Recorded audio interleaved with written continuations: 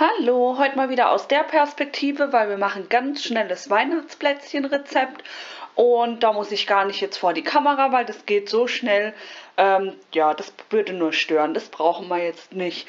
Und zwar, ich würde sagen, ich sage euch gleich mal die Zutaten. Das wären einmal 125 Gramm Butter, dann 50 Gramm Zucker, dann 150 Gramm Mehl, dann 50 Gramm gemahlene Mandeln, 50 Gramm Kokosraspeln, ein Päckchen Vanillezucker und 50 Gramm Puderzucker. Und dann legen wir los. Und zwar, das ist jetzt ganz einfach, weil einfach alle Zutaten zusammen in die Schüssel kommen.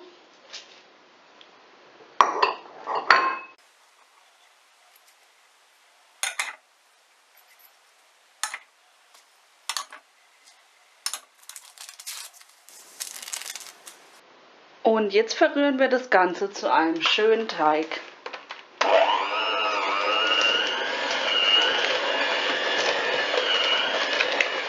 So, und durch das, dass es ja wirklich rasend schnell geht, habe ich den Ofen jetzt schon mal auf 190 Grad eingestellt. Und jetzt haben wir hier den Teig, der sieht jetzt so aus.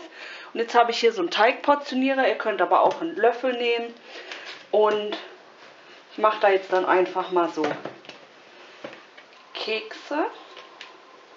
Drücke ich mir hier ein bisschen.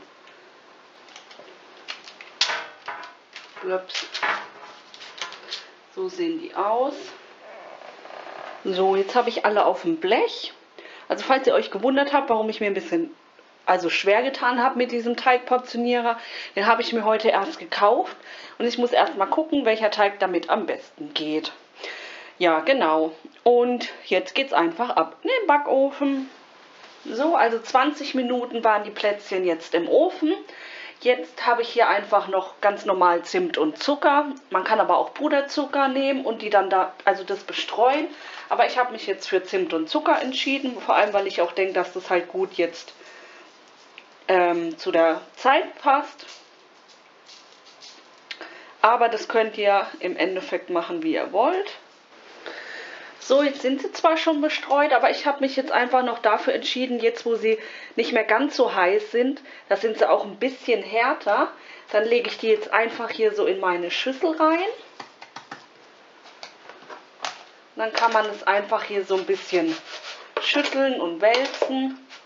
Und dann sind sie wirklich von allen Seiten schön mit Zimt und Zucker. Bisschen abklopfen.